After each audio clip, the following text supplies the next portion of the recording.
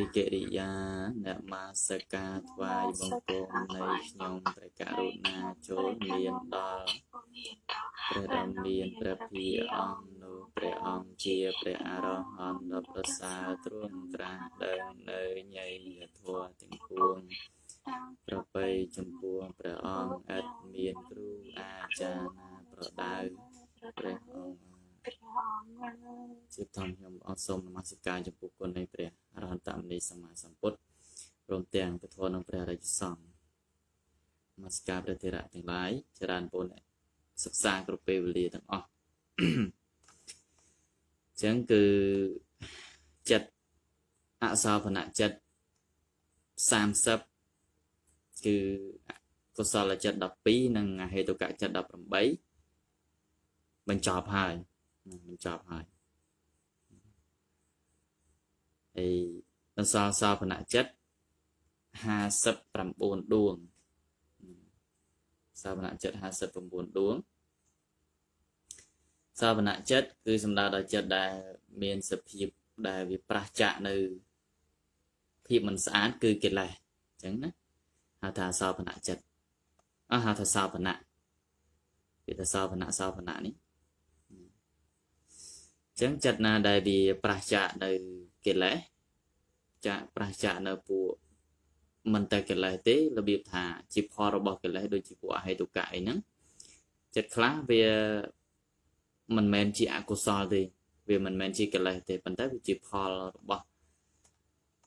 កិលេសចឹងទៅឬក៏ថាវាមិនមានពួកសោភនៈចេតសិកហ្នឹងការរួមជាមួយចឹងពួកចិត្តដែលជាអសោភនៈហ្នឹងគឺ រាប់ទាំងពួកអកុសលហើយក៏មានរាប់ពួកអព្យាកតាពួកអព្យាក្រិតគឺពួកកិរិយាហើយនិងពួកវិបាកដែរដល់ពេលសាវណៈនេះគឺសំដៅដល់ពួកណាផ្នែកល្អគឺមានទាំងកុសលវិបាកកិរិយាអញ្ចឹងទៅអញ្ចឹង នេះគឺព្រះអនុតិចាការសម្ដែងចិត្ត30ដួងគុតគឺអកុសលចិត្ត12ដួងនិងអហេតុកៈចិត្ត18ដួងហើយឥឡូវនេះប្រាថ្នានឹងសម្ដែងចិត្តក្រៅពីចិត្ត30ដួងនោះដោយតាំងឈ្មោះថាសោបណៈទៅពោលថាទៅពោលគេថាថាបាបាហេតុកៈមុតតានិសោបណានៃតិវជ្រេអេកោណសទ្ធិចតានិអធិកៈនវុតៃតិបិវាប្រែថាចិត្ត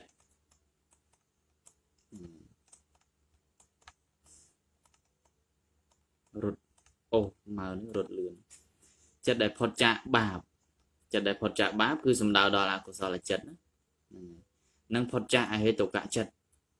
អញ្ចឹងចិត្តដែលផុតចាកអកុសលហើយនឹងផុតចាកអហេតុកៈចិត្តមាន59ដួងឬក៏91ដួងឬ91ដួងនេះយើងដឹងហើយថាមហាអើពួកលោកតរៈចិត្តហ្នឹងជួនកាលយើងរាប់ថា8ជួនកាលយើងរាប់ថា40ចឹងទៅពុស្ដា40 អញ្ចឹងយើងហៅថាសោភនៈចិត្តចិត្តណាដែលវាផុតចាកពួកអកុសលចិត្ត12និងអហេតុកចិត្ត18ចិត្តនោះលោកហៅថាសោភនៈចិត្តហើយអញ្ចឹងអញ្ចឹងគ្រាថាហ្នឹងគឺមានប៉ុណ្ណឹងហើយសេចក្តីបញ្យល់របស់គ្រាថាចិត្តណាញ៉ាំងបុគ្គលញ៉ាំងបុគ្គលដែលជាទីអាស្រ័យរបស់ខ្លួនឲ្យដល់នៅទុក្ខ មានទុកក្នុងអបាយជាដើមចិត្តនោះហៅថាបាបចិត្តបានដល់អកុសលចិត្ត12ដួងនោះឯងអញ្ចឹងអញ្ចឹងចិត្តណាដែលអាស្រ័យរកបុគ្គល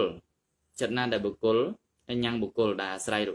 អាស្រ័យរបស់ខ្លួនឲ្យដល់ទុកអញ្ចឹងចិត្តណាណាចិត្តណាដែលបុគ្គលអាស្រ័យនៅចិត្តហ្នឹងបានន័យថាចិត្តហ្នឹងគឺកើតឡើងនៅក្នុងបុគ្គលហ្នឹង ហើយបុគ្គលនឹងឯងតែងតែដល់នៅសេចក្តីទុកព្រោះអាស្រ័យចិត្តហ្នឹងចិត្តហ្នឹងគេហៅថាពួកអកុសលហើយតែបាបហ្នឹងបាបចិត្តហ្នឹង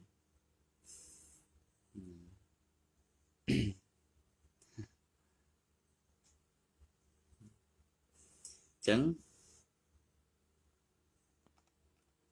អកុសលចិត្តហ្នឹងគឺតែងតែនាំយើងឲ្យទៅដល់នៅសេចក្តីទុក្ខណាមានទុក្ខក្នុងអបាយជាដើម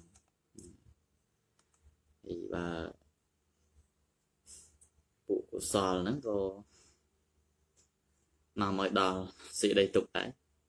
ព្រោះត្រង់ថាវាញ៉ាំងភពជាកំណើតឲ្យតទៅទៀតហើយកាលណាដែលមានភពជាកំណើតតទៅទៀតឱកាសនៃការធ្វើអកុសលហ្នឹងក៏មកវិញចឹងទៅចឹងហើយបានត្រូវព្រះអរហន្តហ្នឹងលោកត្រូវលះទាំងពួកអកុសលលះទាំងលះទាំងកុសលដែរមិនមែនត្រឹមតែលះតែអកុសលទេព្រោះសង្ខារដែលនាំឲ្យកើតនៅ វិញ្ញាណគឺមិនមែនមានតែពួកអកុសលទេសូម្បីតែពួកកុសលក៏ញ៉ាំងនៅបដិសន្ធិញ៉ាំងនៅវិញ្ញាណនឹងឯងឲ្យប្រព្រឹត្តទៅដែរចិត្តណាมันប្រកបរួមជាមួយហេតុទាំងឡាយមានលោភៈជាដើមតាមប្រការដែលពោលហើយចិត្តនោះហៅថាហេតុកចិត្តបណ្ដោះហេតុកចិត្ត18ដួងដែលពោលហើយនោះឯងមានរឿងអីត្រូវនិយាយគ្នាទៀតទេព្រោះរឿងនិយាយហើយអស់ហើយណា ចិត្តដែលហៅថាសោភណចិត្តនេះជាចិត្តដែលมันមានជាតិជាអកុសលហើយសុទ្ធតែជាចិត្តដែលប្រកបរួមជាមួយហេតុចឹងសោភណចិត្តនេះគឺជាចិត្តដែលមិនមានជាតិជាអកុសលទេហើយសុទ្ធតែប្រកបជាមួយនឹងហេតុទាំងអស់ពួកសោភណសោភណចិត្តនេះមាន59ដួងគឺកាមាវចរៈចិត្តដសេះទាំងអស់24ដួង មហាកតៈ27ដួងនិងលោកុត្តរៈ8ដួងឬក៏និយាយថា91ដួងក៏បានដោយធ្វើលោកុត្តរៈចិត្តដួងនីមួយៗឲ្យជា5ដួងតាមការប្រកបរួមជាមួយនឹងឈាន5យ៉ាងមានបឋមឈានជាដើមព្រោះលោកុត្តរៈចិត្តដែលមិនប្រព្រឹត្តទៅជាមួយឈានទាំងឡាយមានបឋមឈានជាដើមនោះมันមានឡើយអញ្ចឹងគឺលោកុត្តរៈចិត្តត្រូវតែកើតជាមួយនឹងឈានត្រូវតែកើតជាមួយនឹងអង្គឈានមិនមែនបានន័យថាលោកសិតតែបាននៅឈាន គឺអបណានឹងទេប៉ុន្តែត្រង់ថាលោកតរៈចិត្តគឺត្រូវតែប្រកបជាមួយនឹងអង្គឈានព្រោះចិត្តខ្លះលោកតរៈចិត្តរបស់បុគ្គលខ្លះហ្នឹងគឺมันមានចិត្តដែលជាអបណាទេមិនមែនជាអបណាទេប៉ុន្តែ គឺមានការប្រកបព្រមដោយអង្គឈានទាំង5ហ្នឹងទៅអញ្ចឹងចិត្តរបស់បុគ្គលហ្នឹងគឺហៅថាប្រកបដោយបឋមឈានអញ្ចឹងបានយើងយើងត្រូវដឹងថាមិនមែនតរតែបុគ្គលនឹងបានឈាន ជាលោកយៈហ្នឹងទើបរាប់ថា លោកតរៈចិត្តហ្នឹងប្រកបជាមួយនឹងបឋមឈានអីចឹងទេបានន័យថាទោះជាលោកមិនបានលោកបានលោកយៈឈានក៏លោកឈ្មោះថាណាមានឈានដែរព្រោះឈានគឺអង្គឈានទាំង5ហ្នឹងគឺមាន ប៉ុន្តែជាបឋមឈានរាប់ចូលថាជាបឋមឈានអញ្ចឹងដោយលោកពោលអញ្ចឹងថាព្រោះលោកតរៈចិត្តដែលมันប្រព្រឹត្តទៅជាមួយឈានទាំងឡាយមានបឋមឈានជាដើមនោះมันមានឡើយអញ្ចឹងគឺលោកតរៈចិត្តត្រូវតែប្រកបជាមួយនឹងឈានឈាននេះណាឈានហ្នឹងគឺសំដៅដល់ទូអង្គឈានទេมันមិនមែនសំដៅថាសិតតែប្រកបជាមួយនឹងអបណាដែលហៅថាលោកយៈឈានហ្នឹងទេ កណាកណាយល់ណាញោមសវនចិត្តនេះពោលដល់ជាតិមាន2ប៉ុណ្ណោះគឺកុសលនិងអព្យាកតៈឬមាន3ដោយចែកអព្យាកតៈជា2គឺវិបាកនិងកិរិយារឿងនេះសិតតែរឿងដែលយើងបាននិយាយគ្នាហើយមិនពិបាកទេចិត្តទាំងនេះហៅថាសោបនៈចិត្តដោយហេតុ3ប្រការអញ្ចឹងលោកថាសោបនៈចិត្តហ្នឹងដែលហៅថាសោបនៈចិត្តហ្នឹងគឺដោយហេតុ3ប្រការហ្នឹង មើលមើលប្រការទី1ពួកចិត្តដែលមានជាតិចូលជាកុសលឈ្មោះថាសោបនៈចិត្តព្រោះជាចិត្តដែលនាំមកនៅគុណភាពនៅនាំមកនៅគុណដែលល្អសោបនៈគុណាវហៈអ្នកតោសេចក្តីថាបណ្ដាគុណដែលល្អពោលគឺការធ្វើល្អទាំងឡាយមានទានសិលជាដើមសម្រេចបានកើតឡើងបានព្រោះកុសលចិត្តទាំងនេះព្រោះហេតុនោះ កុសលចិត្តទាំងនេះទើបឈ្មោះថាសោតនៈហ្នឹងអញ្ចឹងនឹងជាប្រការមួយដែលចិត្តគឺមហាកុសលហ្នឹងឈ្មោះថាសោបនៈហ្នឹងព្រោះនាំមកនៅគុណដែលល្អគឺមានទានសិលអញ្ចឹងពួកចិត្តដែលមានជាតិជីវិបាកឈ្មោះថាសោបនៈដែរព្រោះមានចិត្តដែលនាំមកនៅគុណនោះជាហេតុតាំងហេតុកៈ ហេតុកតាគឺមានកុសលចិត្តទាំងនោះជាហេតុនោះឯងអញ្ចឹងមហាវិបាកក៏ឈ្មោះថាសោបណៈដែរវិបាកហ្នឹងព្រោះថាជាចិត្តដែលបានមកអំពីកុសលនឹងឯងមហាកុសមហាវិបាកគឺបានមកពីមហាកុសលពូចិត្តដែលមានជាតិជាកិរិយាឈ្មោះថាសោបណៈព្រោះត្រឹមតែជាចិត្តដែលប្រកបជាមួយហេតុដែលមិនមានទោសមានអលោភៈជាដើមអលោភៈតិអនិវច្ចៈហេតុសម្ប យោគសម្បយោគតោអញ្ចឹងអឺកិរិយាជាកិរិយានេះវាមិនមែននាំមកនៅទៀនសិលអីជាជាដើមចឹងទេប៉ុន្តែ វាក៏ឈ្មោះថាសោបណៈដែរព្រោះវាប្រកបដោយហេតុដែលជាលោអលោភៈអតោសៈអមោហៈអញ្ចឹង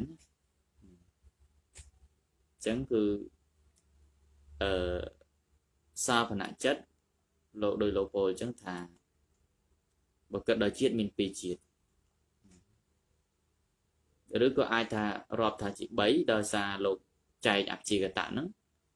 ជា2គឺរាប់វិបាកនឹងកិរិយានឹងផ្សេងគ្នាទៅព្រោះអព្យាកតៈធម៌ដែលជាអព្យាក្រឹតគឺវិបាកនឹងកិរិយា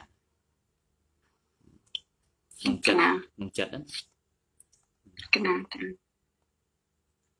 ប៉ុន្តែដល់បើយើងនិយាយដល់រូបសូម្បីរូបក៏ជាអព្យាកតៈធម៌ដែរបើយើងនិយាយអព្យាកតៈធម៌កណា រកវិបាកហើយនឹងកិរិយាហ្មងស្រួលចំណាំជាង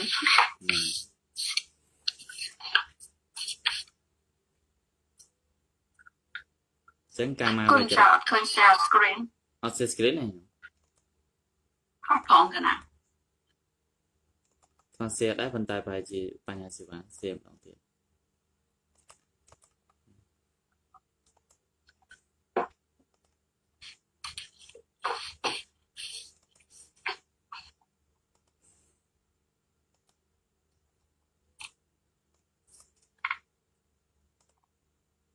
នេះឃើញ screen ហើយ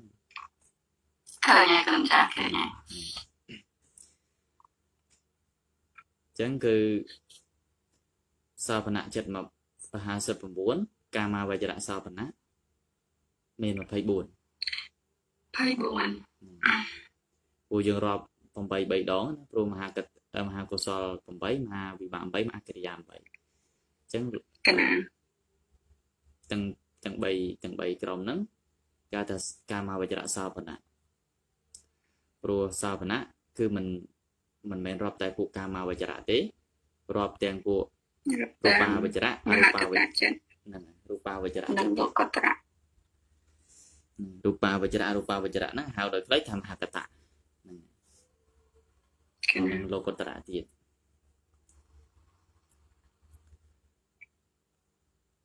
ចឹង បល័យនេះញោមអាចចាំបានទេបល័យនេះអឺកន្លែងមួយណាដែរគុណចាស់បល័យនៃមហាកុសល8ដួងសមនសសកតាំង screen អឺ screen គុណម្ចាស់ហ្នឹងអឺធំពេកពង្រីកទៅឃើញអក្សរតែមួយកណ្ដាស់ទេណាគុណចាស់អញ្ចឹងកណ្ដាអត់អត់ឃើញជា page អឺពេញសេចក្តីឃើញមួយកណ្ដាស់កណ្ដាស់ ឥឡូវហ្នឹងឃើញតែកណ្ដាស់អូវាមិនអាចឃើញមួយទំព័រទេខ្ញុំអូណាអត់អីទេកណាកណាមើលតាមនេះដែលគុណម្ចាស់ផ្ញើនឹងបងបាននេះបើកណាខ្លាចគាត់ថាអឺខ្លាចគាត់ថាគេមើលនៅក្នុង live អីទេ live អត់អត់មាន screen អូអូខេអញ្ចឹងអត់អីទេគុណម្ចាស់នៅមុនចាស់ទេព្រោះព្យាយាមរកវិធីដែរប៉ុន្តែទៅអត់អត់កើតព្រោះអឺវា tab palette នេះវាមិនដូច computer ទេអញ្ចឹងទៅវារត់បានតែចំណាយខ្លះអញ្ចឹងណាខ្ញុំវាកណាអត់អីទេកូនចាកណាចឹងគឺ បល័យគឺសាមនសៈសហកតាំងញាណសម្បយុតាំងអសង្ខារិកមេកាំងសសង្ខារិកមេកាំងកណាចិត្តកើតឡើងព្រមដោយសមនស្សវេទនាប្រកបដោយបញ្ញាជាអសង្ខារិកមួយដួងជាសសង្ខារិកមួយដួងអញ្ចឹងក្នុងទីកន្លែងខ្លះសៀវភៅខ្លះគេសរសេរបែកចេញពីគ្នាណាពីរដួងនេះគឺអសង្ខារិកៈមួយនិងសសង្ខារិកៈមួយតែសរសេរអញ្ចឹងក៏បានដែរវាខ្លី ហើយយើងយល់ទៅក៏ស្រួលដែរมันក៏បានបានទេអញ្ចឹងទាំងអស់វាមាន8ដួងមែនប៉ុន្តែបើសរសេរបែបនេះឃើញតែ4ជួរទេណាឃើញតែ4ជួរទេព្រោះខាងដើមពាក្យបាលីខាងដើមនេះវាដូចគ្នាខុសគ្នាមួយជាអសង្ខារិកៈមួយជាសសង្ខារិកៈអសង្ខារិកៈមេកាំងនេះគឺសសង្អសង្ខារិកៈនិងអេកាំងអសង្ខារិកៈមួយដួងអេកាំងគឺមួយ សសង្ខារិកៈមេកាំងគឺសសង្ខារិកៈមួយហើយសមនសហសមនសសហកតាំងញាណវពយុតតាំងអសង្ខារិកៈមេកាំងសសង្ខារិកៈមេកាំងពាក្យប្រែក៏មិនសូវជាពិបាកដែរឧបេខាដូចគ្នាឧបេខាសហកតាំងញាណសម្យុតតាំងអសង្ខារិកៈមេកាំងសសង្ខារិកៈមេកាំងឧបេខាសហកតាំងញាណវពយុតតាំងអសង្ខារិកៈមេកាំងសសង្ខារិកៈមេមេកាំងអញ្ចឹង8ដួងដូចជាលោភៈមូលចិត្តដែរហ្នឹងហើយវេទនា មាន4មាន2ដូចគ្នា គឺឧបេខានិងសោមនស្សហ្នឹងហើយសម្បយុទ្ធក៏មាន4ដូចគ្នាហើយវិបយុទ្ធក៏មាន4ដូចគ្នាដែរសង្ខារក៏មាន2ដូចគ្នាគឺអសង្ខារិកៈ1និងសសង្ខារិកៈ1ខុសគ្នាត្រង់ណាញោមខុសគ្នាត្រង់ណា កន្លែងណាដែលគាត់ចាស់ខុសជាមួយជាមួយនឹងអជាមួយនឹងលោភៈមូលចិត្ត8ដួងខុសជាមួយនឹងមហាកុសលកន្លែងណា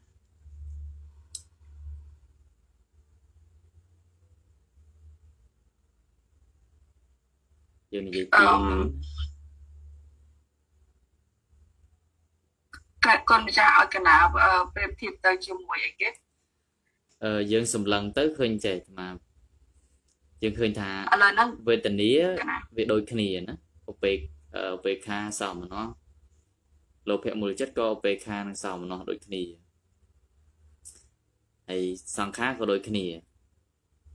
ជាអសង្ខារឹកសសង្ខារឹកចឹងទៅហើយសម្បយុទ្ធហើយនិងវិបយុទ្ធកណា កណាអត់យល់សំណួរអរគុណម្ចាស់ឲ្យកណាប្រៀបធៀបមហាកិរិយាចិត្តទាំង3នោះហ្នឹងទៅជាមួយនឹងអីគេជាមួយនឹងមហាវិបាកមែនឬក៏មហាកុសលចិត្តត្រឹមត្រូវជាមួយលោភៈជាមួយលោភៈជាមួយលោភៈ8ដួងហ្នឹងថាមកឲ្យប្រៀបធៀបហ្នឹងឲ្យឲ្យសម្លឹងចេះទេថាបើនិយាយពីវេទនាវាដូចគ្នានិយាយពីសម្បយុទ្ធក៏មានសម្បយុទ្ធនិងវិបយុទ្ធ និយាយពីសង្ខារក៏មានសសង្ខារអសង្ខារបាទសួរថាវាខុសពីលោភៈកន្លែងណា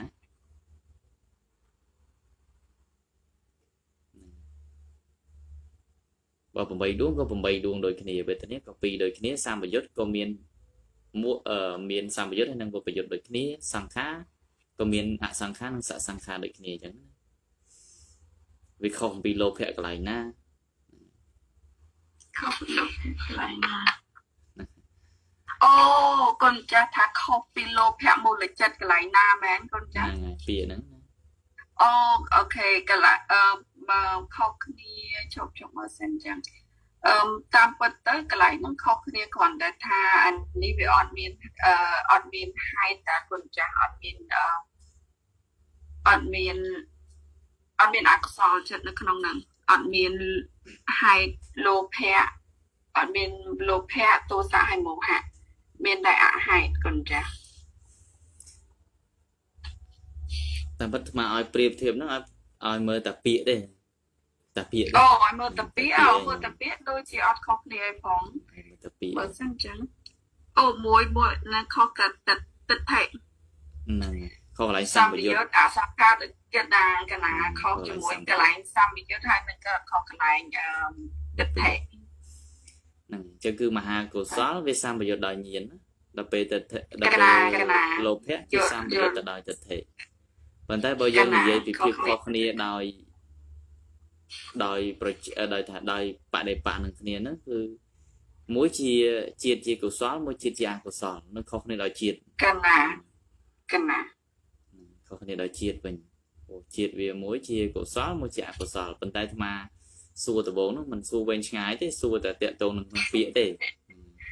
កណាសួរតាក់ទងក្នុងពាក្យថាតើពាក្យគឺខុសគ្នាយ៉ាងណាហ្នឹងអញ្ចឹងសម្លឹងទៅឃើញថាវាខុសគ្នាត្រង់តែមួយសម្បយុទ្ធដោយទិដ្ឋិនិងវពយុទ្ធដោយទិដ្ឋិមួយសម្បយុទ្ធដោយញាណនិងវពយុទ្ធដោយញាណអញ្ចឹងទៅ ណានិយាយជាប់ពាក់ព័ន្ធជាមួយនឹងទិដ្ឋិនិងញាណឥឡូវក៏ចាំតិចទៀត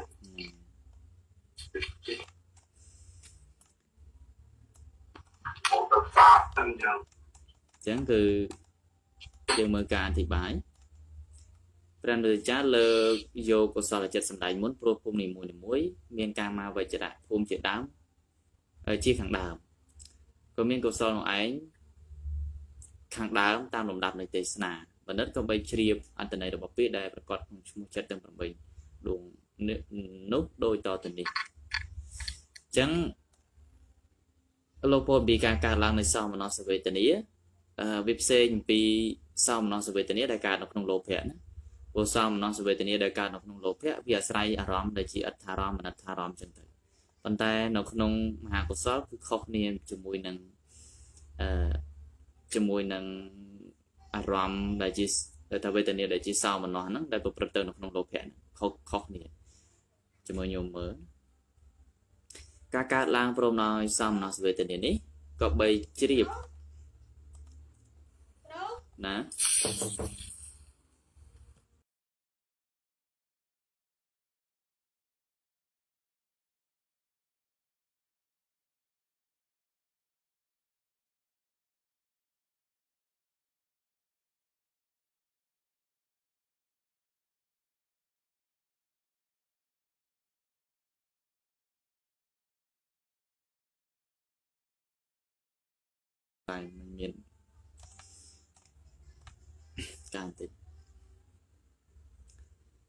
ក៏បីជ្រាបអត្តនឹងពាក្យអธิบายរបស់ពាក្យថា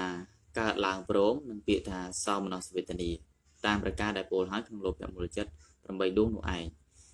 អឺវាតកតងនៅក្នុងការកើតឡើងព្រមនេះលោកនិយាយពីវេទនាដែលវាសម្យុទ្ធជាមួយនឹងចិត្តហ្នឹងណាព្រោះវេទនាជាតួជាតសឹកចឹងទៅអញ្ចឹងកាលណាដែលកើតឡើងព្រមជាមួយនឹងចិត្តអញ្ចឹងវាត្រូវមានលក្ខណៈ4កើតឡើងព្រមគ្នារលត់ព្រមគ្នាមានអារម្មណ៍ជាមួយគ្នា មានវត្ថុជាមួយគ្នាអញ្ចឹងទៅអញ្ចឹងកណាទោះបីដូច្នោះព្រោះហេតុដែលជាកុសលសោមនស្សវេសវេទនាក្នុងកុសលចិត្ត4ដួងនេះនឹងកើតឡើងពីហេតុដូចគ្នាជាមួយនឹងសោមនស្សវេទនា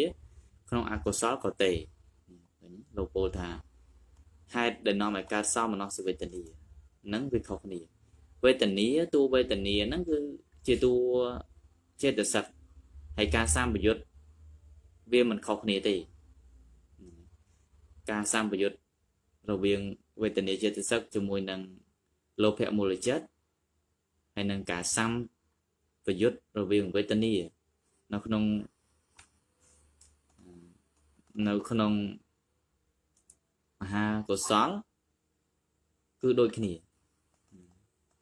ផ្សេងគ្នាត្រង់ថា ហេតុដែលនាំឲ្យកើតសោមនស្សវេទនាដែលវាប្រព្រឹត្តទៅនៅក្នុងលោភៈឬក៏មហាកុសលនោះវាខុសគ្នាព្រោះនៅក្នុងលោភៈយើងអាស្រ័យតែអារម្មណ៍ដែលជាអដ្ឋរៈអដ្ឋរម្មជាបរិកបៈឬក៏សភាវៈអញ្ចឹងទៅក៏អាចមានលោភៈមូលចិត្តនឹងកើតឡើងបានហើយប៉ុន្តែក្នុងមហាកុសលនេះជួនកាលអារម្មណ៍ហ្នឹង ជាអត្ថអារម្មណ៍ក៏មិនអាចកើតជាកុសលបានដែរមិនអាចកើតជាសោមនស្សវេទនាដែលប្រព្រឹត្តទៅក្នុងកុសលបានដែរ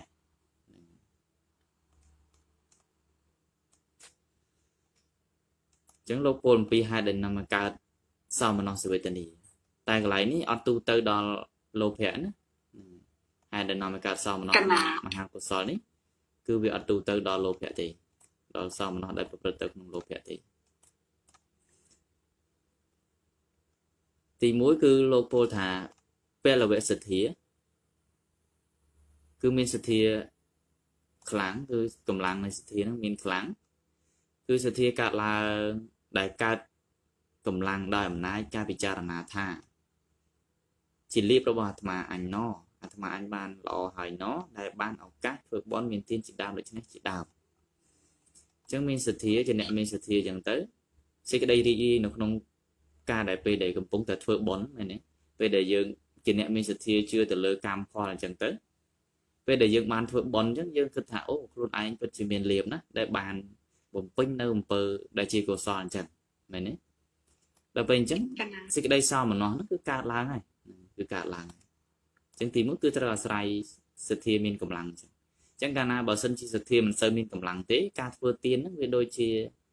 អឺ វាអាចនៅមានសេចក្តីសង្ស័យខ្លះខ្លះអញ្ចឹងសោមនស្សជួនកាលវាអាចកើតទេសោមនស្សដែលប្រព្រឹត្តទៅនៅក្នុងមហាកុសលហ្នឹងជួនកាលវាប្រព្រឹត្តទៅជាឧបេក្ខាហ្នឹងនៃនឹងអឺប្រការមួយទី2ទេសនៈសម្បត្តិការដល់ព្រមនៃទេសនៈឈ្មោះបានថាដល់ព្រមនៃទេសនាការដល់ព្រមនៃទេសនៈឬទេសនៈសម្បត្តិជាឈ្មោះរបស់សមាទិដ្ឋិ ខាងដើមយើងនិយាយពីសទ្ធាមានសទ្ធាมันប្រកាសថាយើងមានសមាទិដ្ឋិទេណាមែនទេហ្នឹង កណា ចឹងដែលប្រព្រឹត្តទៅក្នុងគណៈធ្វើបន់ទាំងឡាយដោយន័យថាទានដែលបុគ្គលឲ្យហើយរមែងមានផលពុតដូច្នេះជាដើមมันមានសេចក្តីសង្ស័យក្នុងការធ្វើដោយន័យថាមានផលពុតឬណឬมันមានផលទេដូច្នេះជាដើមចឹងពេលដែលយើងមានសមាទិដ្ឋិហ្នឹង មានសមាទិដ្ឋិដែលយល់ឃើញថាការធ្វើបន់ហ្នឹងវាវាជារឿងដែលត្រឹមត្រូវណាយើងយល់ថាវាជារឿងត្រឹមត្រូវ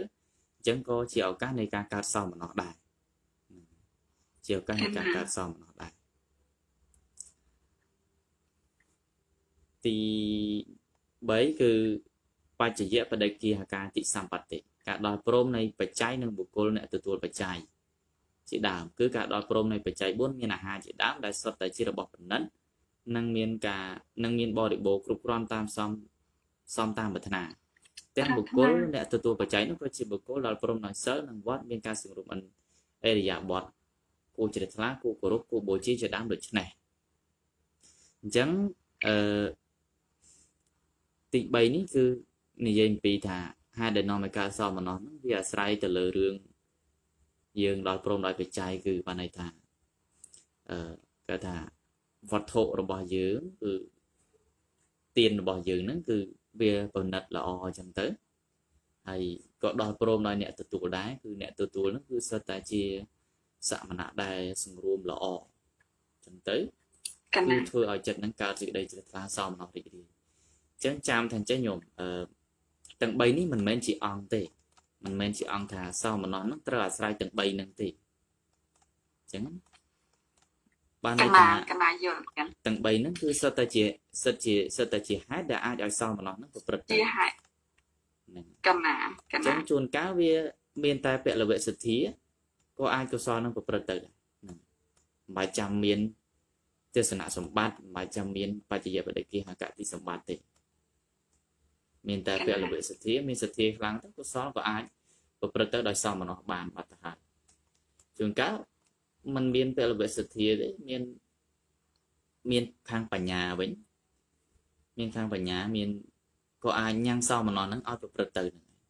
ព្រោះយល់ឃើញថារឿងហ្នឹងវាត្រូវហើយណាអញ្ចឹងពេលណាដែលយើងគិតថារឿងហ្នឹងធ្វើត្រូវហើយធ្វើទៅប្រកាសជាមានសេចក្តីសោមនស្សរីករាយហើយខ្លាចតែយើងគិតថារឿងហ្នឹងវាមិនត្រូវទៅទើបមានសេចក្តីក្តៅក្រហាយស្ដាយក្រោយអញ្ចឹងទៅអញ្ចឹងនៅមានសមាធិ ដល់ព្រមដោយការឃើញទេសនៈសម្បត្តិនេះគឺដល់ព្រមដោយការឃើញហើយអញ្ចឹងការធ្វើហ្នឹងគឺពេលដែលបានសម្រេចដូចបំណងនៃការធ្វើហ្នឹងគឺសមណោះពិតជាមានហើយជួនកាលខាងដើមទាំង5ហ្នឹងអើខាងដើមទាំង5ខាងដើមទាំង2ហ្នឹងវាអត់មានហ្នឹងហើយទាំងពីរហ្នឹងអត់មានជួនកាលមានចុងក្រោយហ្នឹងអូកណា អញ្ចឹងក៏សិតតែជារឿងដែលអាចឲ្យសមណោះដែលប្រព្រឹត្តទៅជាកុសលនឹងកើតឡើងបានប៉ុន្តែអត់តនិយាយរឿងសម្បយុទ្ធញៀនសម្បយុទ្ធញៀនពពយុទ្ធទេតែយើងនិយាយពីរឿងសមណោះសិនណារឿងសម្បយុទ្ធដល់ញៀនឬក៏ពពយុទ្ធដល់ញៀនកុំតនិយាយពាក្យថាជាដើមលោកពោជាដើមចុងក្រោយនេះគឺ បានន័យថាហេតុដែលនាំឲ្យកើតសមណោះដែលប្រព្រឹត្តទៅក្នុងមហាកុសលហ្នឹងមិនមែនមានតែ3ហ្នឹងទេហ្នឹងលោកថាពរួមទាំងប្រទេសអឺរួមទាំងទេសៈគឺកន្លែងធ្វើបុណ្យកិរិយាដល់ព្រមនៃកាលកាលៈគឺពេលវេលាធ្វើបុណ្យបានស្រួលកិរិយាដល់ព្រមនៃមិត្តគឺកល្យាណមិត្តអ្នកជួយនាំអត្ថរម្មភាពជាអ្នកមានបដិសន្ធិប្រកបដោយសមណោះភាពជាអ្នកមិនសុខុមការពិចារណាឃើញអានិសង្សរបស់បុណ្យរឿយរឿយ ថាបុណ្យទាំងឡាយដើម្បីប្រទៅព្រមដើម្បីមនុស្សសម្បត្តិដើម្បីទេវសម្បត្តិឬនិព្វានជាដើមសមណសវេទនាក្នុងកុសលចិត្ត4ដួងនេះកើតឡើងអាស្រ័យមានប្រការដោយពោលមកនេះចិត្ត4ដួងនេះកើតឡើងព្រមដោយសមណសវេទនានោះព្រោះហេតុនោះទៅឈ្មោះថាសមណសសហកតាំងអញ្ចឹងវាមិនមែនមានតែ3ហ្នឹងទេជួនកាលវាត្រូវអាស្រ័យប្រទេសៈ ទេសៈគឺកន្លែងធ្វើបន់ដែរជួនកាលអឺការដល់ព្រមនៃសម្បត្តិទាំង3ហ្នឹងហើយប៉ុន្តែកន្លែងធ្វើប៉ុនហ្នឹងវាអត់ដល់ព្រមកណាអញ្ចឹងវាអាចជាឧបេខាដែរវាប្រព្រឹត្តទៅជាឧបេខាវិញកន្លែងធ្វើប៉ុនហ្នឹងវាវាមិនល្អវាมันអាចញ៉ាំងសេចក្តីសមមនុស្សឲ្យកើតឡើងបាន ឬក៏ថាពេលវេលានៃការធ្វើប៉ុនហ្នឹងវាមិនស្រួលមួយទៀតពេលដែលមាននៅមិត្តមានមិត្តភ័ក្តិដែលជាកល្យាណមិត្តហ្នឹងក៏អាចធ្វើឲ្យយើងនឹងមានមហាកុសលប្រកបដោយសមណោះដែរព្រោះមានមិត្តនឹងឯងណែនាំនិយាយបញ្យលទៅក៏មានសេចក្តីសមណោះកើតឡើងនៅក្នុងមហាកុសលហ្នឹងហើយ ម្យ៉ាងទៀតមហាកុសលហ្នឹងវាកើតឡើងហ្នឹងព្រោះតែខ្លួនឯងហ្នឹងជាអ្នកដែលសន្សំនៅសោមនស្សដែលស្រ័យបដិសន្ធិនឹងពីដើមពីដើមមកព្រោះយើងបដិសន្ធិជួនកាលបដិសន្ធិជាមនុស្សមែនប៉ុន្តែមហាវិបាកវាមានរហូតដល់8ជួនកាលបដិសន្ធិដោយឧបេខាជួនកាលបដិសន្ធិដោយសោមនស្សអញ្ចឹងបុគ្គលដែលបដិសន្ធិដោយសោមនស្សអឺការធ្វើរឿងកុសលហ្នឹងក៏ងាយនឹងសោមនស្សអញ្ចឹងទៅ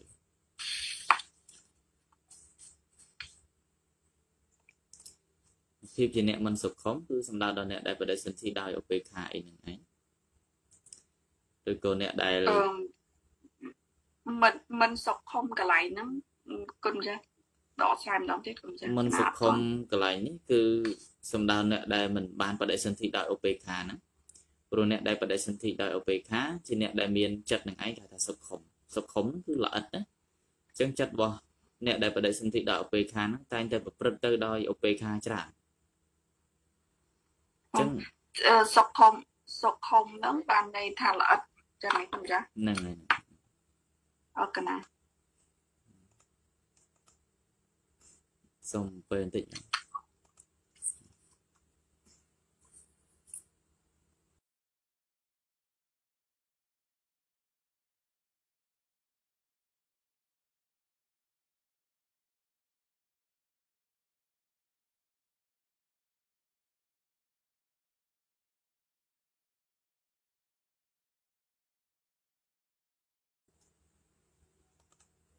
ណាមិនល្អិត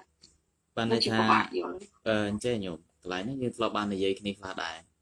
ថាបុគ្គលដែលមានភាពសុខុមហ្នឹងគឺបានន័យថាប្រកបដីរបស់បុគ្គលហ្នឹងគឺមានភាពឧបេខាសុខុមសំដៅទៅតួចិត្តហ្នឹងចិត្តដែលមិនសុខុមសំដៅដល់បុគ្គលហ្នឹងគឺជាអ្នកដែលមានចិត្តហ្នឹងតែងតែត្រេកអរត្រូវសាយសាយត្រូវអឺតោមណោះតោមណោះអីចឹងណា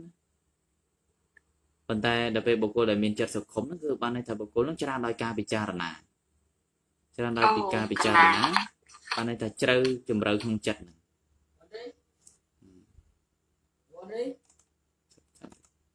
ណា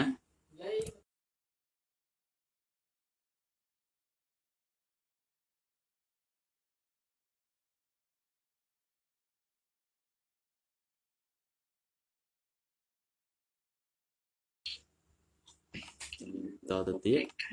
កន្លែងនេះអាចទទួលបានហើយការពិចារណាអឺគឺនឹងសំរបស់ប៉ុនទៅហ្នឹងនិយាយរឿងសោមនស្សហ្នឹងគឺប៉ុណ្ណឹងរឿងសោមនស្សចូលដល់បញ្ញា ការប្រកបដោយបញ្ញាហ្នឹងវាមានលក្ខណៈម៉េចពាក្យថាប្រកបដោយបញ្ញាក៏បីជ្រាបថាសម្បយុទ្ធ ពាក្យថាសម្បយុទ្ធសម្បយុទ្ធតាមប្រការដែលបានពោលហើយក្នុងអកុសលចិត្តនោះឯងអញ្ចឹងពាក្យថាសម្បយុទ្ធនេះគឺសំដៅដល់ការប្រកបព្រមរវាងចេតសិកហើយនិងចិត្តនឹងឯងអញ្ចឹងវាមិនពិបាកទេកណាចំណែកពាក្យថាញាណបានដល់បញ្ញានោះឯងញាណញាណកន្លែងនេះគឺបញ្ញាធម្មជាតិឈ្មោះថាបញ្ញាព្រោះអត្ថថាដឹងដោយប្រការទាំងពួង បញ្ញានោះឯងឈ្មោះថាញាណព្រោះអត្ថថាដឹងគឺចាក់ធ្លុះតាមសម្គាល់ដល់សភាវៈកុសលចិត្តទាំងនេះជាធម្មជាតិដែលសម្យុទ្ធជាមួយញាណព្រោះហេតុនោះទៅឈ្មោះថាញាណសម្យុទ្ធនឹងយើងទៅសអញ្ចឹងបានន័យថាកុសលណាដែលកើតឡើងនឹងឯងគឺប្រកបដោយបញ្ញាប្រកបដោយញាណគឺសំដៅដល់មានបញ្ញាមានបញ្ញាកុសលកុសលនោះប្រព្រឹត្តទៅមិនមែនគ្រាន់តែធ្វើអឺធ្វើនឹងដោយ ចិត្តល្អតែប៉ុណ្្នឹងទេគឺបុគ្គលនឹងធ្វើក្នុងរឿងកុសលនោះគឺមានបញ្ញានឹងប្រកបជាមួយថាឧទាហរណ៍ថាក្នុងការបំពេញនៅសិលក្តីទានក្តីភាវនាក្តីសិតតែមានការជាក់ច្បាស់មានបញ្ញាប្រកបជាមួយជាក់ច្បាស់ថាការធ្វើហ្នឹងវាសិតតែជារឿងដែលប្រព្រឹត្តទៅមានប្រយោជន៍យ៉ាងណា មានផលយ៉ាងណា ស្របទៅតាមដំណើរនៃធម្មជាតិនឹងមែនដូចថាកុសលតែងតែ នាំឲ្យបាននៅសុគតិឬក៏ថានាំឲ្យបាននៅសុខអញ្ចឹងទៅអញ្ចឹងបុសុគ្គលខហ្នឹងវេទនាបុគ្គលនឹងបានដឹងបានដឹងដំណើរហ្នឹងបានដឹងដំណើរហ្នឹងថាកាលណាដែលបុគ្គលធ្វើនៅកុសលហ្នឹងគឺតែងតែនាំមកនៅសេចក្តីសុខអញ្ចឹងទៅអញ្ចឹងការធ្វើដែលដែលបញ្ញាដែលឃើញអញ្ចឹងអញ្ចឹងកុសលរបស់បុគ្គលហ្នឹងគឺប្រកបដោយបញ្ញាហើយព្រោះបុគ្គលខ្លះធ្វើបុណ្យមិនមែនបានន័យថាប្រកបដោយបញ្ញាគ្រប់គ្នាទេពេលច្រើនធ្វើបុណ្យប្រឆាចបញ្ញាច្រើនបានន័យថាធ្វើបុណ្យហ្នឹងគឺ ជួនកាលយើងដឹងដូចដឹងតាមគ្នាអញ្ចឹងទៅថាទៅបនហ្នឹងឡើងឋានសួគ៌អញ្ចឹងធ្វើព្រាវព្រាវទៅមិនបានបញ្ញានឹងឯងមានខ្លួនឯងទេកណាធ្វើធ្វើព្រាវបនព្រាវប្រកបដោយលោកភៈនេះលោកពលពីហេតុដែលចិត្តអឺនឹងឯងអាចប្រកបជាមួយនឹងបញ្ញាហ្នឹងសម្បយុទ្ធជាមួយបញ្ញាសម្បយុទ្ធហ្នឹងគឺប្រកបនឹងឯងណា កណា វាប្រកបយើងនិយាយខ្មែរសម្បយុទ្ធសម្បយុទ្ធហ្នឹងគឺយើងនិយាយជាបល័យអញ្ចឹងទៅតែបល័យហ្នឹងក៏បល័យคล้ายដែរបល័យនិយាយថាសម្បយុទ្ធបាត់សំឡេងតមួយហឹម បើបើនិយាយបល័យសតថាសម្បយុត្តៈ កណាសម្បយុត្តៈសមណសសហកតាំងសម្ បយុត្តៈបញ្ញាសង្វត្តនិកកម្មៈកម្មដែលប្រព្រឹត្តទៅព្រមជាមួយនឹងបញ្ញាជាងអំពើនឹងប្រព្រឹត្តទៅជាមួយនឹងបញ្ញាបណ្ដាលកម្មដែលធ្វើដោយបញ្ញានោះឯងជាងមកថាសំដៅដល់ទង្វើដែលមានបញ្ញាការរួមជាមួយពលគឺក្នុងគណៈដែលធ្វើកម្មទាំងឡាយមានទានជាដើមរមែងជាអ្នកមានប្រកដីពិចារណាដល់ភិវៈជាកម្មដែលគួរធ្វើដែលមានគុណតែម្យ៉ាងมันមានទោសឡើយ ជាការធ្វើដែលបណ្ឌិតសរសើរឬការពិចារណាឃើញអានិសង្សនៃការធ្វើដោយន័យថានាំមកនៅប្រយោជន៍ក្នុងលោកនេះខ្លះក្នុងបរលោកខ្លះឬសំបីប្រយោជន៍ដល់ក្រៃលែងគឺព្រះនិព្វានតាមសម្ពោធជាដើមកុសលចិត្តដែលកើតឡើងក្នុងពេលនោះភាគច្រើនរមែងជាចិត្តដែលប្រកបជាមួយនឹងញាណអញ្ចឹងគឺទង្វើគឺកុសលដែលធ្វើទានក្តីសិលក្តីនេះឧទាហរណ៍តែក្នុងករណីថាយើងធ្វើទានអញ្ចឹងគឺមានសតិស្មារតីណា មានសតិកំណត់ដឹងដែលសម្បយុទ្ធជាមួយនឹងបញ្ញាហ្នឹងឯងសតិដែលវារលឹកហ្នឹងរលឹកទៅបញ្ញាក៏វាប្រកបក្នុងពេលហ្នឹងដែរហ្នឹងហើយព្រោះបញ្ញាមិនអាចកាត់ឡើងខ្វះសតិបានទេហ្នឹងហើយត្រូវតែមានសតិជាទីមួយចឹងទៅបានបញ្ញាអាស្រ័យនឹងសតិនឹងឯងព្រោះសតិវាជាគ្រឿងរលឹកបានដល់រលឹកបានហើយបានបញ្ញានេះឯងមានឱកាសក្នុងក្នុងការដឹងអញ្ចឹង អញ្ចឹងដូចពេលធ្វើកម្មជាដើមអញ្ចឹងទៅសិតតែប្រកបដោយការរលឹកដឹងច្បាស់ថាការធ្វើនេះពិតជាមានប្រយោជន៍មានតែគុណមានតែអានិសង្សហើយដូចជាការលះបង់ទានឬក៏ថាសិលនេះសិតតែជាដំណើរអាចទៅកាន់ព្រះនិព្វានបានទាំងអស់អញ្ចឹងការធ្វើទានរបស់លោកគឺគឺដឹងអំពីដំណើរនៃការធ្វើនឹងច្បាស់អញ្ចឹងបានន័យថាធ្វើនឹងមិនមែនចេះតែធ្វើបរោះទេគឺធ្វើនឹងដោយដឹងច្បាស់ ព្រោះអ្នកខាងក្រៅសាសនាជួនកាលគេធ្វើទៀនហ្នឹងគេធ្វើដោយមិនដឹងទេធ្វើដោយមិនដឹងទេឬក៏ថាយើងជាអ្នកក្នុងសាសនាក៏ដោយប៉ុន្តែជាអ្នកដែលមិនបានសិក្សាជាអ្នកដែលមិនបានស្ដាប់ជាអ្នកដែលច្រើនទៅដោយការមិនចេះដឹងហ្នឹងគឺធ្វើទៀននឹងឯងតែងតែធ្វើដោយងងឹតងល់ណាអំពើរបស់ខ្លួនឯងនេះជួនកាលធ្វើដូចស្មាថាអញ្ចឹងគឺព្រាវព្រាវអញ្ចឹងទៅ ព្រាវព្រាវព្រាវព្រាវអញ្ចឹងទៅគេថាធ្វើប៉ុនបានប៉ុនអញ្ចឹងទៅអើធ្វើទៅអញ្ចឹងទៅគេថាធ្វើអញ្ចឹងបានប៉ុនទៅទៅទៅអញ្ចឹងបានថារឿងកុសលរបស់អ្នកដែលមិនមានបញ្ញានឹងឯងគឺចេះតែតាមគេណាគេថាប៉ុនក៏ប៉ុនគេទៅគេថាបាបក៏បាបគេទៅមិនបានមានបញ្ញាខ្លួនឯងនៅក្នុងការរឿងធ្វើនេះទេអញ្ចឹងបើសិនជាគេបោកថាអូធ្វើសម្រាប់សត្វទៅបានប៉ុនអញ្ចឹងអ្នកហ្នឹងក៏ទៅសម្រាប់សត្វទៅអញ្ចឹងក៏ធ្វើអកុសលទៅប៉ុន្តែបើគេប្រាប់ថាអូធ្វើទៀនបានប៉ុនអញ្ចឹងក៏ទៅធ្វើទៀនទៅអញ្ចឹងទៀនរបស់គាត់ហ្នឹងក៏ជាប៉ុនដែរប៉ុន្តែมันប្រកបដោយបញ្ញបញ្ញាទេកណាប្រកបដោយបញ្ញាទេអញ្ចឹងមានតែអ្នកដែលមានបញ្ញាទេទើបបានទីពឹងដល់ខ្លួនឯងហើយក៏អាចទីពឹងដល់អ្នកដទៃបានទេដោយព្រះសម្មាសម្ពុទ្ធព្រះអង្គជាកម្ពូលអ្នកមានបញ្ញាហើយ ទី2អព្យាបច្ចៈលោកគោបបតិភាពជាអ្នកកាត់ឡើងក្នុងលោកដែលមិនមានការបៀតបៀនអព្យាបច្ចៈលោកគោបបតិបានដល់ការកើតក្នុងរូបភពព្រោះរូបភពនោះបច្ច័យមានអារម្មណ៍ឧតុសភាពក្តៅត្រជាក់ជាដើមដែលជាសត្រូវរបស់បញ្ញាមានតិចចំណែកបច្ច័យដែលឧបត្ថម្ភដល់បញ្ញាមានច្រើនបញ្ញាមានឱកាសកើតឡើងបានដោយច្រើន សំបីចតិពីព្រមលោកនោះមកបដិសន្ធិក្នុងទេវលោកឬមនុស្សលោកកុសលចិត្តប្រភេទនេះក៏នៅតែកើតឡើងដោយងាយក្នុងអារម្មណ៍ទាំងឡាយដោយអំណាចការធ្លាប់សន្សំមកក្នុងជាតិមុននេះហេតុដែលនាំឲ្យកើតបញ្ញាមួយទៀតគឺសំដៅដល់ពេលដែលយើងបានកើតឡើងនៅក្នុងលោកដែលមិនសូវមានការដែលនាំឲ្យទៅអាបច្ច័យដែលនាំឲ្យបញ្ញានឹងមិនកើតឡើងណាព្រោះយើងកើតឡើងនៅក្នុង ព្រហ្មលោកឱកាសនៃបញ្ញាគឺកើតឡើងច្រើនព្រោះបើនិយាយពីឧតុនិយាយពីអាកាសធាតុអីហ្នឹងគឺมันត្រូវលំបាកទេมันត្រូវលំបាកទេហើយពេលដែលជាអ្នកដែលចម្រើនដោយចិត្តអញ្ចឹងទៀតឱកាសនៃបញ្ញាគឺប្រព្រឹត្តទៅច្រើនអញ្ចឹងកុសលរបស់អ្នកហ្នឹងបុគ្គលហ្នឹងគឺតែងតែប្រកបដោយបញ្ញានឹងដោយច្រើនហើយបុគ្គលនឹងដែលបដិសន្ធិមកជាមនុស្សឬក៏ថាត្រឹមទេវលោកនោះ ក៏នៅតែអាចកុសលនឹងប្រព្រឹត្តទៅក្នុងញាណនឹងច្រើនទៀតយើងមើលដូចជារឿងទូអង្គព្រះកសុបៈដែលដែលបានចុតិពីព្រំលោកអីមកជាដើមណាជាតិចុងក្រោយរបស់លោកហ្នឹងគឺលោកបដិសន្ធិចុះពីព្រំលោកចឹងចិត្តអ្នកដែលចុះពីព្រំលោកហ្នឹងគឺចិត្តនឹងអីវាមិនតន់អស់អស់សារជាតិអស់ការ ភាពនៃចិត្តជាព្រមនឹងនៅឡើយទេកណាចឹងកុសលដែលប្រព្រឹត្តដោយបញ្ញានឹងមានឱកាសច្រើនពោះធ្លាប់សន្សំនៃការ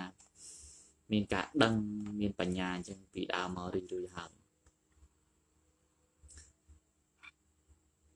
ឥន្ទ្រីយៈបរិបាកោភាពជាអ្នកមានឥន្ទ្រីចាស់ខ្លាតែឈ្មោះថាឥន្ទ្រីក្នុងទីនេះ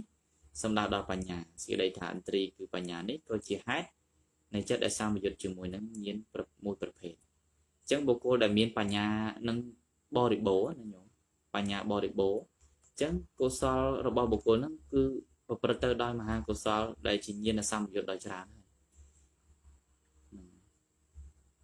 អញ្ចឹងព្រោះបរិបូរហើយបរិបូរដោយបញ្ញាហើយសិតតែធ្វើអ្វីគឺសិតតែប្រកបដោយបញ្ញាចឹងបញ្ញាចាស់ខ្លាអញ្ចឹងឱកាសនៃ បញ្ញាបញ្ញាកន្លែងហ្នឹងគឺសំដៅដល់តែ បញ្ញាចេតសិកមកមុខគេចឹងឯងគុណចាស់ហ្នឹងហើយបញ្ញាគឺបញ្ញាចេតសិកហ្នឹងហើយព្រោះបញ្ញាកន្លែងនេះតាមសភាវៈហ្នឹងមិនមែនបញ្ញាដែលសម្គាល់ទៅលើការចេះដឹងខាងក្រៅទេកណាកណាសំដៅដល់បញ្ញាបរមត្ថហ្នឹងឯងដែលវាឃើញសភាវៈធម៌តាមការពិត ឃើញតែប៉ុនគឺប៉ុន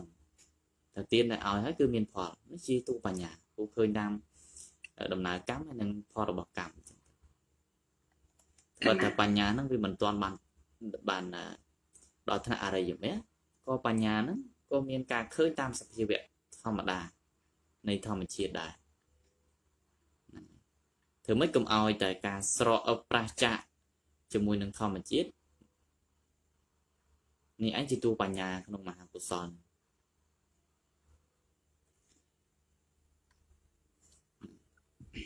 កណានេះលោកនិយាយពីអាយុអឺដែលប្រព្រឹត្តទៅក្នុងមនុស្សហ្នឹងថាមនុស្សដែលអាយុចាប់ពីខ្ទង់40ខ្ទង់50ទៅហ្នឹងគឺអាចអឺមានបញ្ញាហ្នឹងរៀងចាស់ខ្លាគេ ក្នុងសម័យពុទ្ធកាលលោកពោថាយុគការរបស់មនុស្សក្នុងជម្រកទ្វីបមានប្រមាណ100ឆ្នាំលោកក៏បែងចែកជា10ចំណែកមួយចំណែក10ឆ្នាំតាមកំណត់ទុកថារយៈពេល10ឆ្នាំដំបូងនោះហៅថាខេខណ្ឌេទសកៈអត់ចេះអានសោះខណ្ឌេខណ្ឌេទសកៈឌីតសកៈចឹង ដល់រយៈពេល10ឆ្នាំដែលមានការលេងសើចអញ្ចឹងអា10ឆ្នាំមនុស្សយើង10ឆ្នាំដំបូង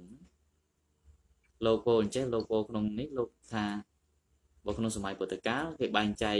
អាយុនោះជា10ចំណែកអញ្ចឹងទៅព្រោះអាយុ100ឆ្នាំអញ្ចឹងជា10ឆ្នាំ10ឆ្នាំអញ្ចឹងទៅលោកថា10ឆ្នាំខាងដើមនោះគឺជាខណ្ឌេទេសកៈហ្នឹងមានបញ្ញាខ្សោយ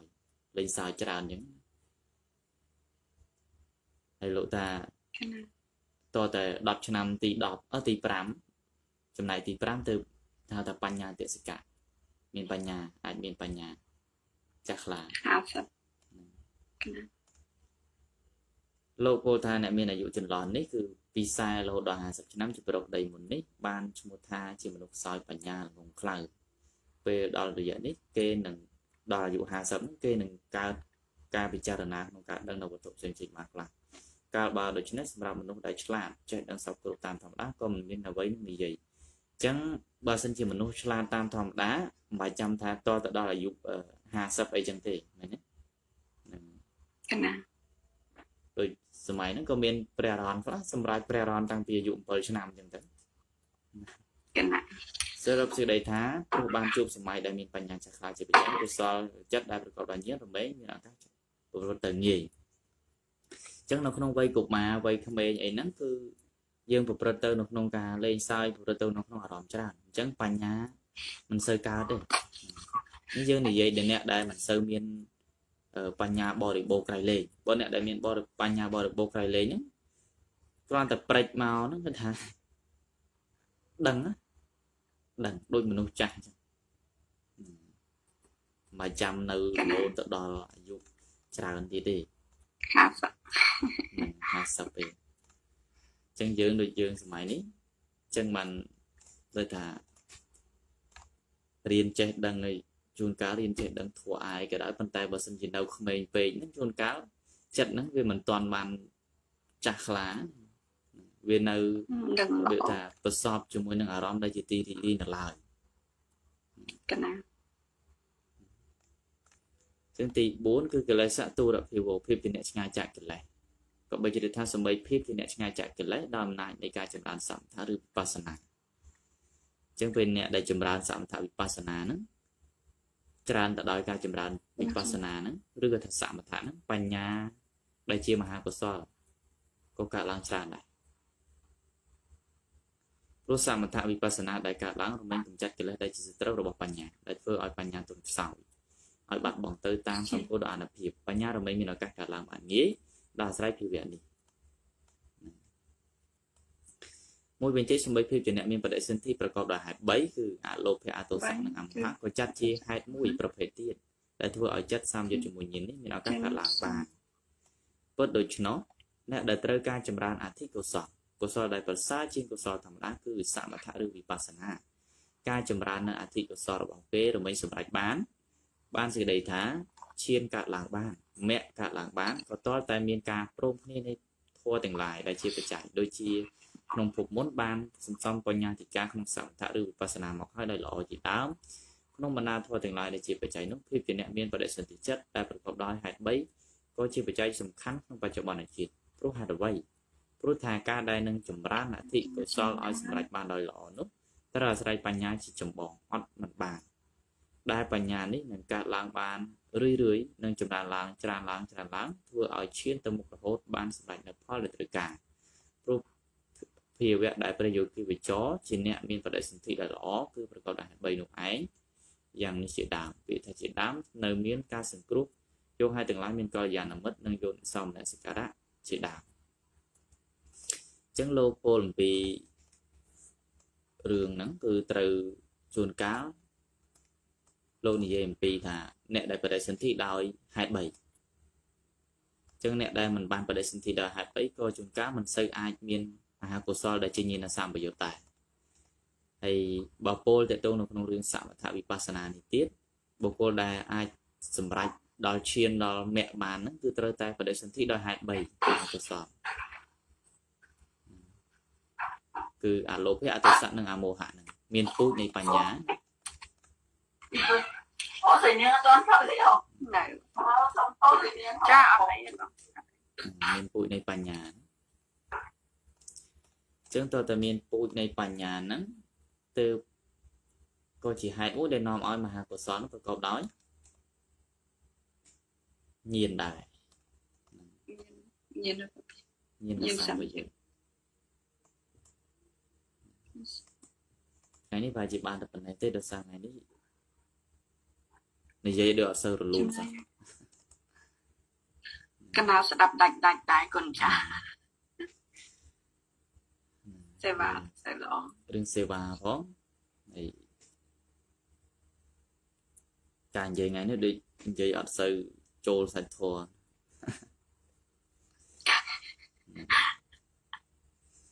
ចឹងតកតងរឿងហេតុដែលកើតសមណោះក្នុងមហាកុសលហើយនឹង